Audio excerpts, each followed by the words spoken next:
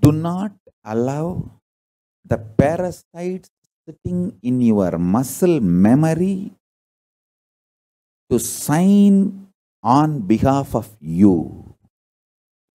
When they generate commands on behalf of you, they strengthen their existence, not you. This is exactly the traitors have done in my Sangha.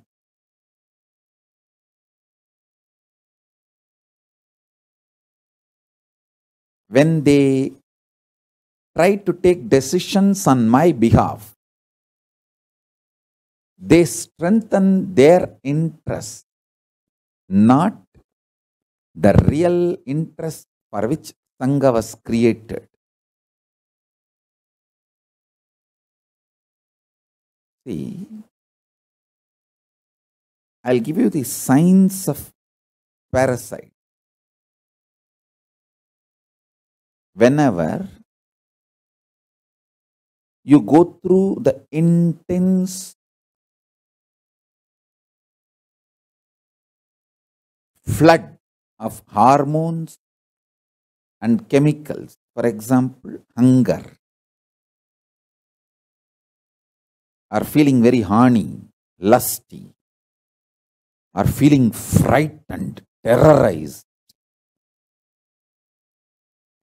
Whether you feel lusty, sexually driven, horny, or frightened, terrorized, or hungry, all these three is just flood of hormones and chemicals inside you. Whenever the hormones and chemicals are flooded inside you, the womb, mother component for the parasites to be born is created. The egg, garbha, for the parasites to be born is created. The good news is you can live without letting the parasites happen in you.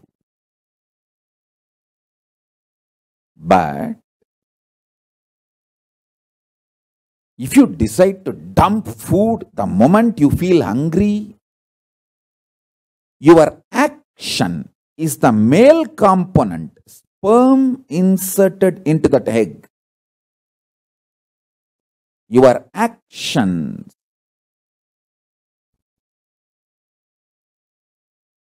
going with the flow pattern of the hormones and chemicals in you, your actions are male component added to the female component, parasite is born. Your actions are the male component required for the parasite to be born in you. The chemicals and hormones make the womb, egg, female component for parasites. Your deluded actions, going with the flow of the hormones and chemicals, those actions are male component